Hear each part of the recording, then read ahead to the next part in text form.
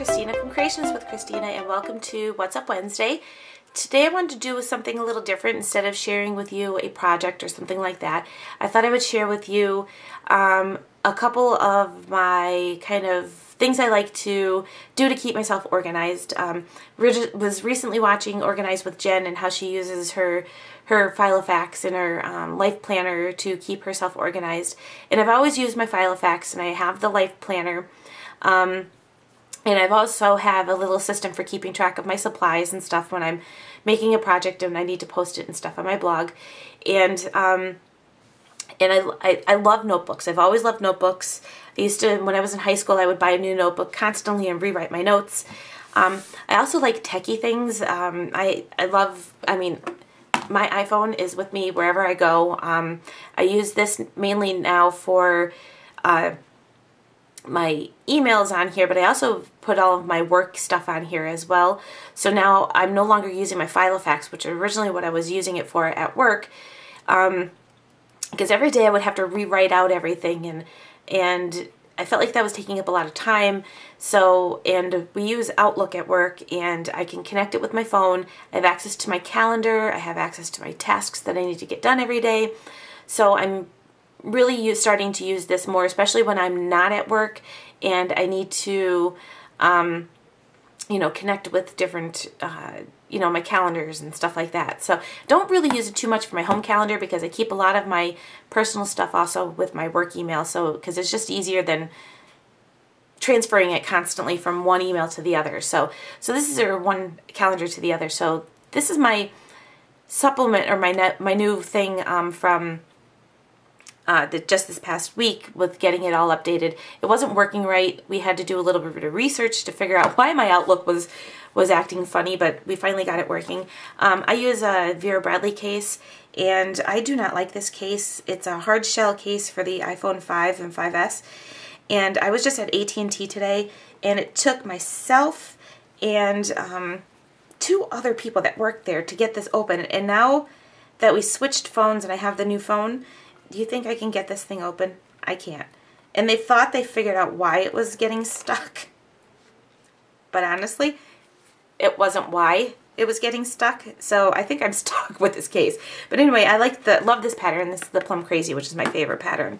Um, but anyway, back to my point of my video is to share with you my different um, journals and how I keep track of things. My first thing, which I posted on Instagram a couple of days ago, this is something I made last week um, or last weekend is my I don't know if I want to call it a supply book or a sketchbook, but this is what I've been using to keep track. I had a different version of this going um, for a while, and I only did it in just a like a notebook I had left laying around, just you know, my office here. And I really liked how it worked, so I decided to stay with that, um, but actually make it an official book. So I bought this book. This is the Martha Stewart um, disc-bound customizable notebook. It's six and a half by nine. It has 60 sheets in it. I didn't buy anything else to go in it because I knew I was just going to really use it for the paper that was included. And I use this to, like I said, keep track of the supplies and the um, dimensions and sketches and stuff. So let me show you how, what I did. So first I keep it closed with my Erin Condren. I have an extra Erin Condren um, band and I like the silver with that blue color. So I just uh, use that. And then I have um, a little pocket here. And as I was sitting here looking at this I was grabbing my photos that are going in a Project Life layout. And I thought what boy this would be great even for doing a Project Life making a Project Life book out of it to keep track of your different things for Project Life. So anyway um, I'm thinking I'm going to use this front cover just to stick the cards in of the projects that are upcoming videos that I haven't posted yet, so I thought that would be a good place to keep those. There is a section for personal stuff, which I don't have filled out um, because I don't really plan on using it for anything other than just my supply list. And it has the holidays and the um, 2013 to 2016 calendar in it and special dates. So basically what I'm using it for is this. This is what it looks like. It's um, a section where I can keep like the name of the card. I usually use whatever the sentiment is, is what I name my card. I have a little circle up here that I have put the date that it was posted and if it was a video. I have my products that were used, and then down the bottom I have the dimensions, so the card base or any special layers or anything like that, and then I have a little sketch area down here too that if I need to go back and get some inspiration, I can go back to this and get it. So, like I said, I've been had another version of this. I don't have it handy. I'd show it to you. It's, um, but it really worked out. The only thing I did not include in there before, which I include now, are my sketches. So, this is, uh, look at it, what it looks like blank, and this is how my last two cards is what I've been using to keep track of this. Um, I'm using the desktop file inspiration stamp set and this was really originally used uh, for a Rolodex which I did go ahead and make myself one when I first purchased it. And it was kind of going to be used for this purpose um, but I found this to be too small so now I just really use it for decoration. And this is where I got all of the stamps from to get this uh, set up for myself.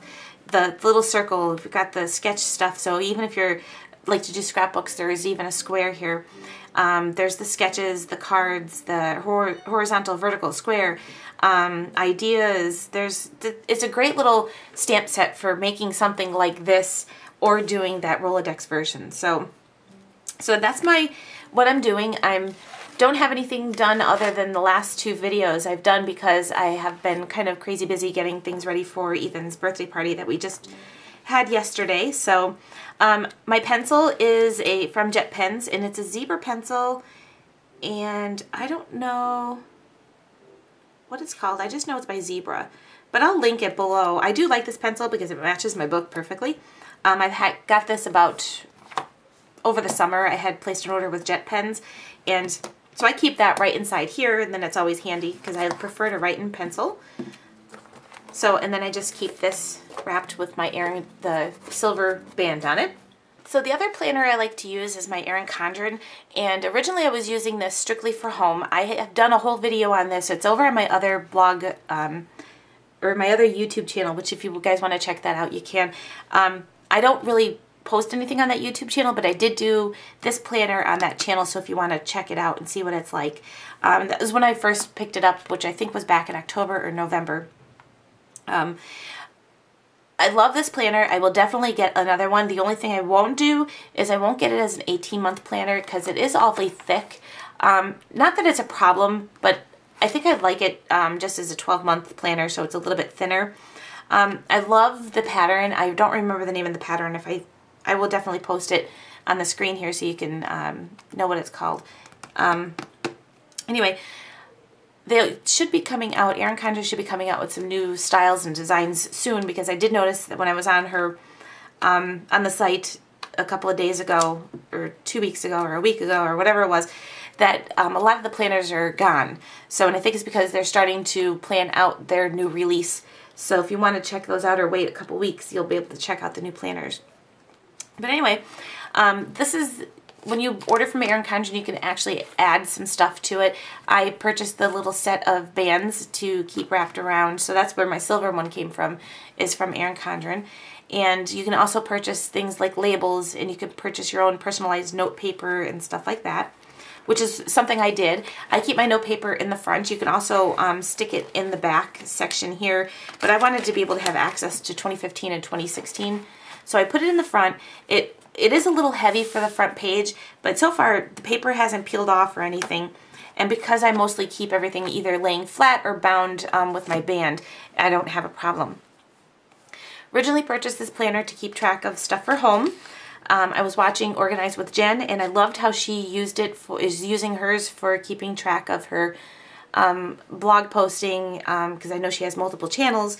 Um, but I wanted to use it not only for my blog posting and my videos, but also for my Stampin' Up! stuff too, because I have a couple of um, clubs that I run. I have two ink clubs and a stamp club, and it just helps me know when I need to get codes out to them or um, when a special uh, sale is going on and stuff like that. But like I said, originally I had planned to use this as my home planner and keep track of things I need to get done. Um, I guess I started this in November so I must have ordered in October and then started using it in November of last year. And I was kind of keeping everything in here and also in my Filofax.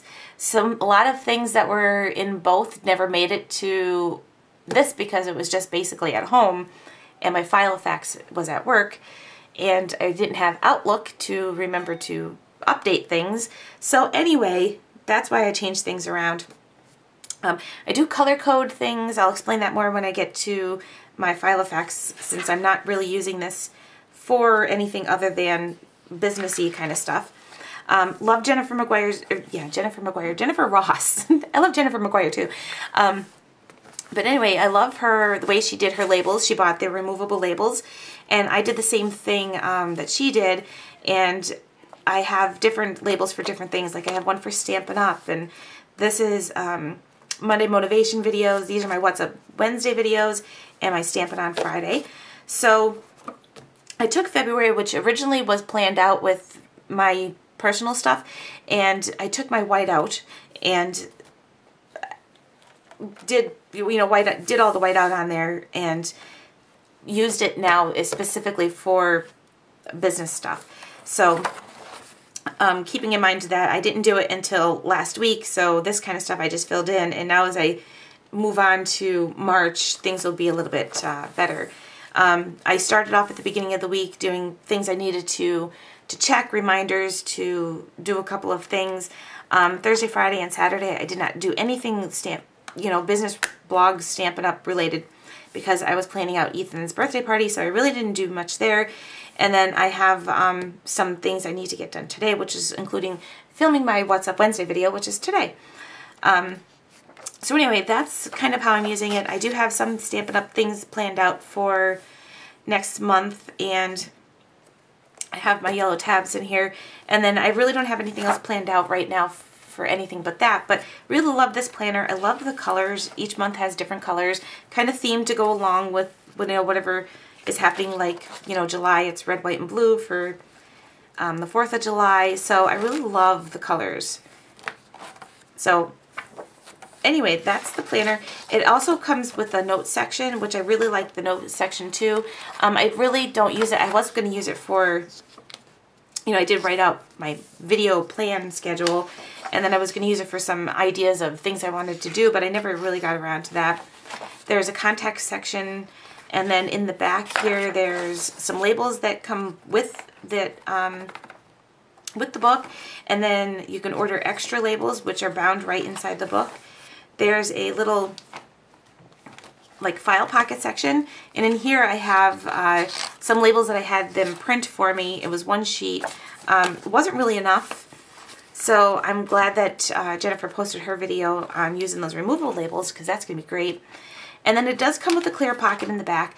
Right now the only thing I have in there is refill for my lead uh, pencil and my mechanical pencil um, because I have two two of these pencils and they take special lead it's, uh, and I'll show you that in a second. And then there's the back cover. So I really love it. It's hard laminate. It's really nice. Um, my favorite pencils are these uh, I think they're Uni Ox, Ox Gel. I got it from Jet Pens. It's a little expensive. I got this one over the summer and then recently ordered myself another one and they are expensive, but uh, the grip on it, it's really nice. It's got one of those kind of rubbery, rubberized grips, and it's really nice to write with, and uh, the smoothness of the lead is unbelievable.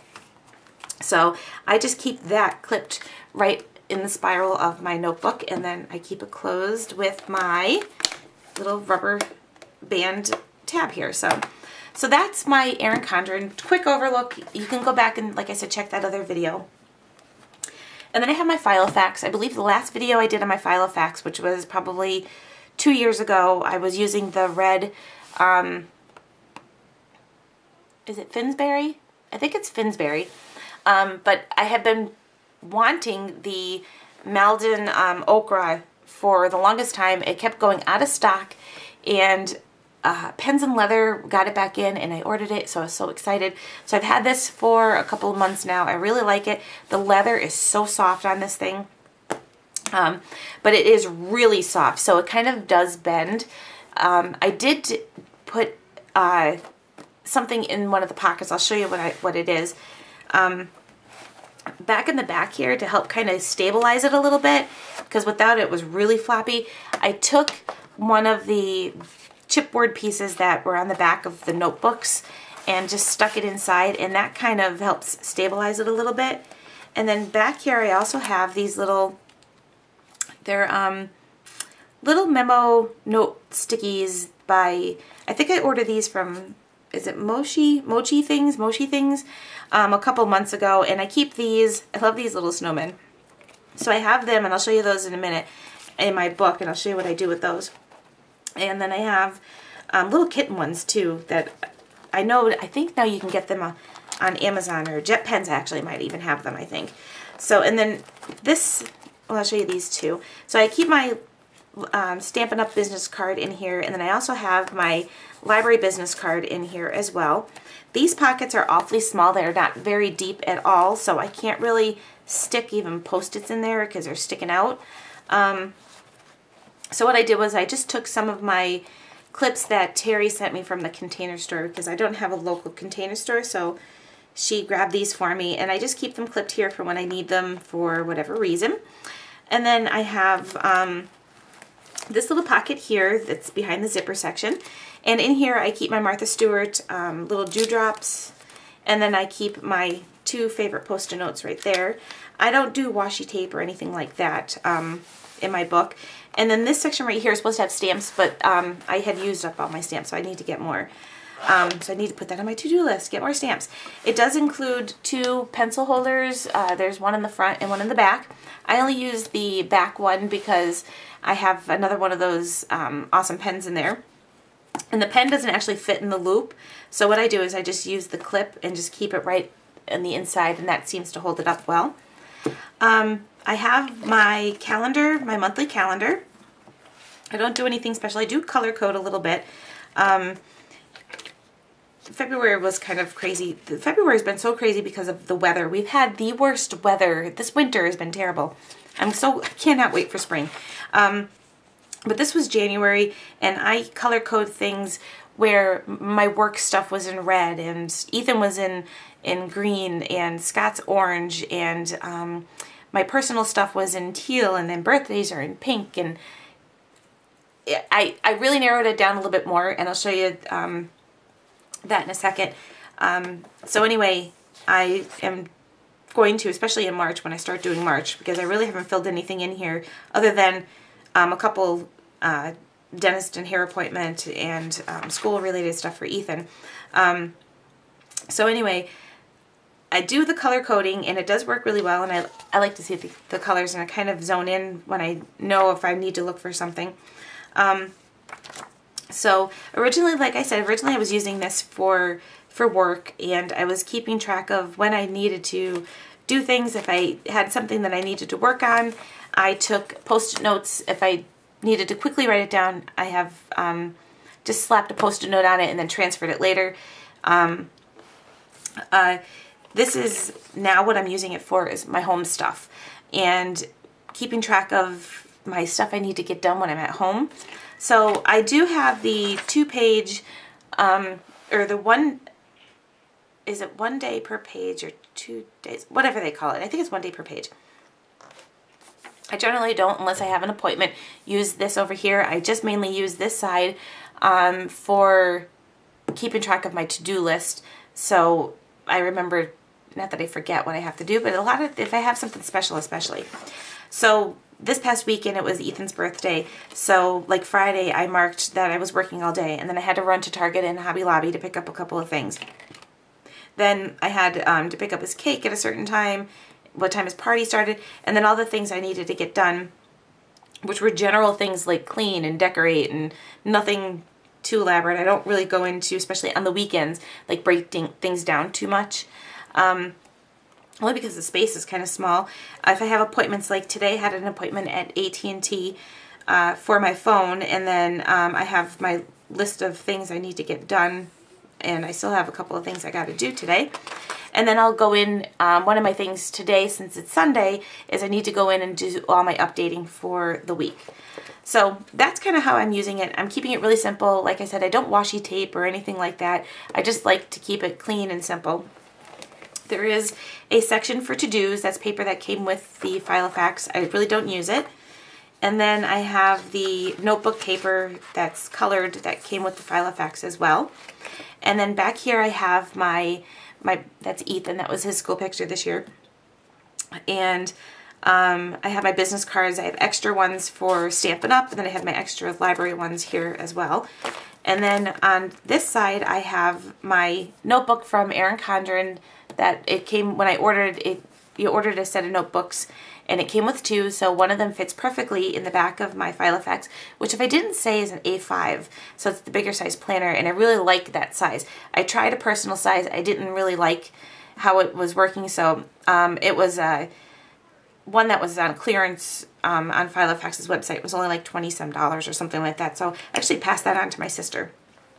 So that's a look at how I'm kind of keeping track of all my, you know, stuff for blog posting and supply list and stuff like that. And then this I also was inspired by um, uh, Jen from Organize with Jen.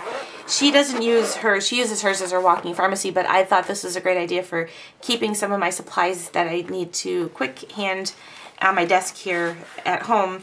Um, on this side I keep all of my pens that I do for my color coding along with my whiteout and an extra of my pencil refills. And this little zipper pouch which is attached, I keep some of my extra post-its, like I've got my open pack of um, the dots and then my ones that, these are almost gone. So my little tabs, my smiley tabs. And then over here I have a pair of scissors. I really thinking I'm going to use this for some post-it notes. And then on this side, I also have some more of my business cards tucked in here as well. And um, so that's basically it. That's how I keep my supplies stored. So anyway, that's a look at all of my different planners and how I kind of keep myself somewhat organized. All right, if you have any questions, let me know. Um, thanks for watching, and at the end of this video, I'll put a link to my old file of Filofax and then also a link to my Erin Condren setup too if you want to check that out. All right, everybody, thanks for watching. I hope you enjoyed today's video, and I will catch you next time.